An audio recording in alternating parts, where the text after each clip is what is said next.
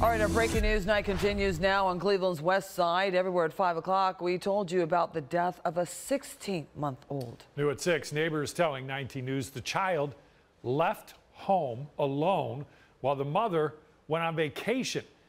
The mom now charged with murder. Our Katie Wilson has been working her sources all day long on this horrific case. She's live with a glimpse of what this little girl's family life was really like. Katie. Brian, Tiffany, it's hard to imagine how this could possibly happen. 31 year old Kristel Candelario now in jail. Neighbors say she left her baby at home to die.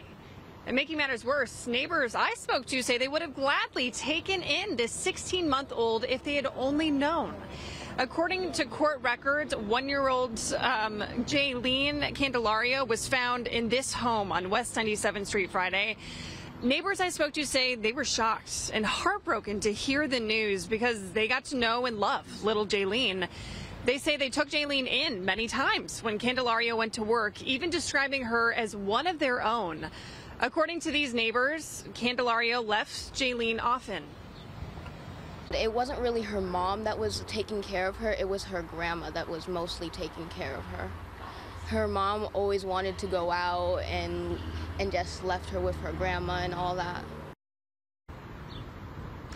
That neighbor we spoke to says that uh, Candelario's grandparents also lived in that home, but they're on a separate trip right now.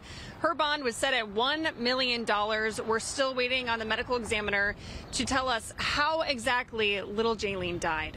Any updates we do get, we will pass along to you on air, online, and on our streaming platforms. Live in Cleveland, Katie Wilson, 19 News.